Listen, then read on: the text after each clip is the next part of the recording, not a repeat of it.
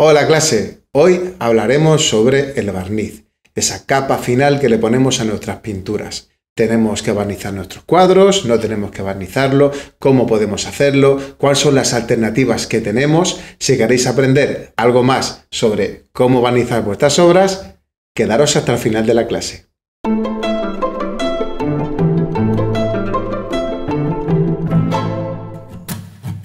Una de las dudas más recurrentes suelen ser si tengo que barnizar un cuadro, si no tengo que barnizarlo, qué producto tengo que utilizar, cómo se barniza y sobre todo cuánto tiempo tengo que esperar desde que he terminado mi obra hasta que tenemos que barnizarlo. Dependiendo de lo que hayamos pintado, si es un cuadro acrílico, si es un óleo, tendremos un tiempo de secado o otro. Es importantísimo esperar que esos tiempos se cumplan si queremos que nuestro barniz haga su función, que será la de proteger, impermeabilizar y sobre todo conservar a lo largo del tiempo nuestra obra. Cuando terminamos un cuadro al óleo, aproximadamente tendrán que pasar entre dos meses, incluso un año, dependiendo de la humedad, de la temperatura, del grosor de la capa que hemos trabajado. Cuanto más grueso sea, más tardará en secar, porque los óleos secan desde arriba al interior poco a poco. Es una maravilla que tengan ese tiempo de secado tan lento, que es lo que nos permite poder envolver, poder difuminar y trabajar esas transiciones, pero también será un condicionante para cuando tendremos que poner esa capa de protección. Cuando siguen blandas, tendremos que esperar ese tiempo que tendrá que ser mayor. En el caso de que tengamos prisa y que tengamos que barnizarla, que suele ser uno de los principales motivos por los cuales no respetamos esos tiempos de secado, también veremos cómo podemos hacerlo para resolver algunos de los problemas que tienen nuestras obras. Por ejemplo, cuando trabajamos por distintas partes, con más cantidad de óleo o con más veladura, con más grasa, podemos darnos cuenta que percibimos distintos brillos a la hora de ver nuestra obra que impedirán la correcta visualización de nuestra obra. Dependiendo del ángulo en que estemos mirando, podemos percibir esos brillos. Ya que los óleos con los que estamos trabajando actualmente son de mucha calidad, pues no tendremos problemas de que se desprendan. Básicamente son dos motivos. El primero, queremos que se conserve a lo largo del tiempo.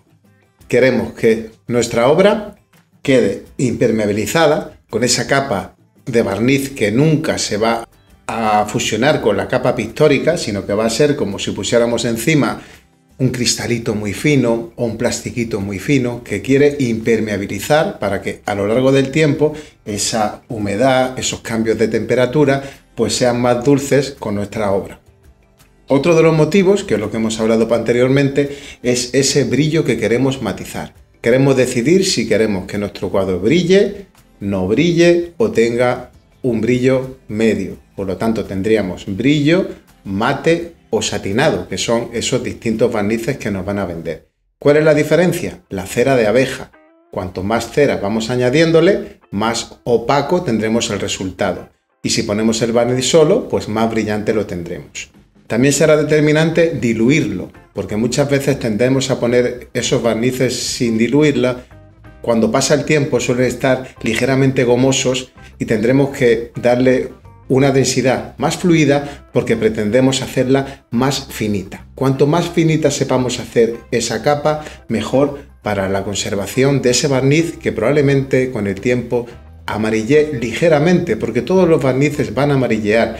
Vamos a hacerlo con el retrato de Juan de Pareja, que os dejo por aquí un enlace por si lo queréis ver, y eh, vamos a protegerlo dándole un acabado semimate.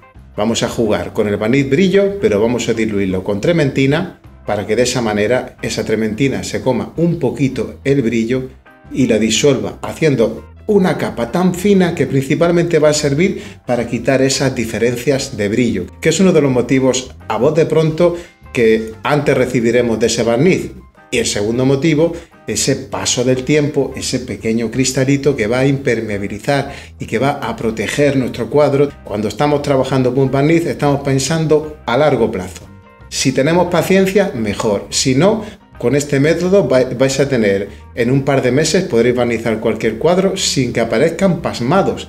Cuando seca esa capa de barniz y ese óleo quiere escaparse porque secan por oxidación, rompen esa capita de barniz, van a romperla con unas microcraqueladuras que las veremos en forma de color blanco, que, que son los famosos pasmados tendremos que barnizarlo muy fresco si queremos que salgan pasmados. Y si salen, no pasa nada, porque como esa capa no se adhiere, podemos quitarla con un trapito, con un White Spirit o con otro diluyente que sea suave para nuestra obra, que no afecte para la pintura, una esencia de trementina, un White Spirit que es más volátil y le podemos quitar esa capa de barniz. Pero si lo queremos evitar, vamos a diluirlo al 50%, vamos a echar una capita muy finita que va a ser más que suficiente para proteger el retrato que hicimos anteriormente. Venga, vamos a ver cómo lo barnizaríamos. Vamos a trabajar con un barniz brillante que lo vamos a aplicar con una esencia de trementina para matizar sus brillos haciendo una capa muy fina al 50%. Aplicamos la mitad de barniz y de trementina. Pensad que lo que estamos haciendo es estirar ese barniz, porque esa trementina, cuando se seque, o ese white spirit, pues se va de la mezcla. Y se quedará solo esa capa de barniz muy finita, que es lo que pretendemos. Hacemos una mezcla homogénea y vamos a echar una capa muy finita, muy estirada, donde también tendremos que tener en cuenta una buena paletina o un buen pincel para que no deje trama. Vamos a estirarla Vamos a coger esa cantidad de barniz. Quitamos el exceso.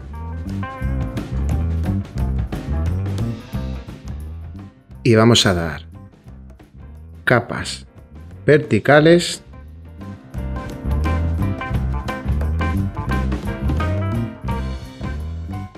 extendiéndolo de una manera homogénea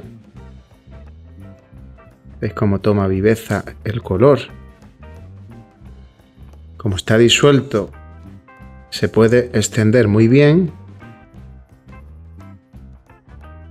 Y cuando hemos terminado con las capas verticales, para que se reparta, aunque como habéis observado tenemos el cuadro en posición horizontal, eso será algo muy importante que tendremos que tener en cuenta, y cruzar la trama para que directamente desaparezca.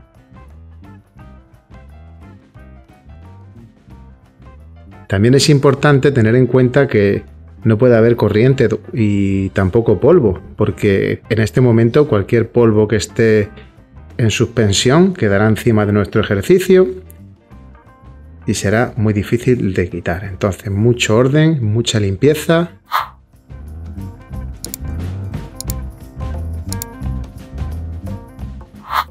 y los repartimos de tal manera que no quede nada de trama, cruzando entre pinceladas verticales, horizontales, una brochita muy suave. Al estar disuelto, es muy sencillo extenderlo sin marcar la trama. Y también secará muy pronto. Esa trementina va a ayudar a que seque enseguida. De esta manera, disuelta con la trementina, hemos conseguido una capita muy finita, muy finita, que será más compatible si no podemos esperar esos tiempos de secado.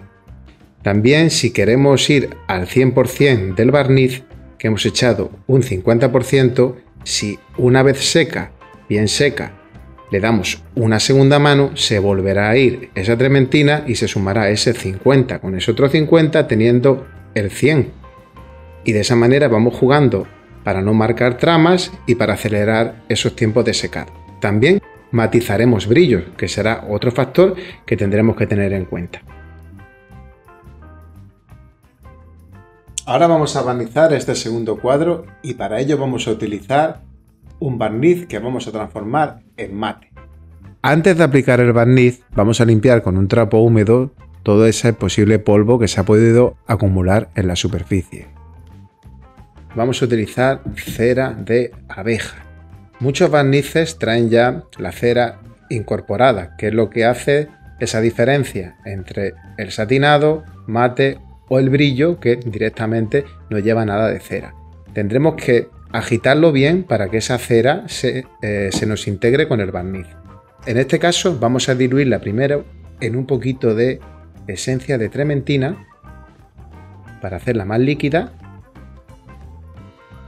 porque queremos un acabado mate. La cera también podría proteger nuestro cuadro, no necesitaría ese barniz. Es otra de las maneras que tenemos para proteger nuestras obras. Yo recomiendo mezclarlas con el barniz para tener esa, esa textura más disuelta que nos va a ayudar a que se adhiera sobre nuestros cuadros creando esa película de protección. Repetimos el proceso estirando mucho la capa de barniz. Ahora sí, con su cera. Vamos dándole de una manera muy suave, con, una, con un pelo muy suave de brocha, para que esa capa, que se hace un poquito más densa, ya que contiene también esa cera que tiene una densidad mayor, como habéis podido ver, pero va quedando muy homogénea y va a ser esa primera capa de protección y que va a proteger nuestra obra a lo largo del tiempo.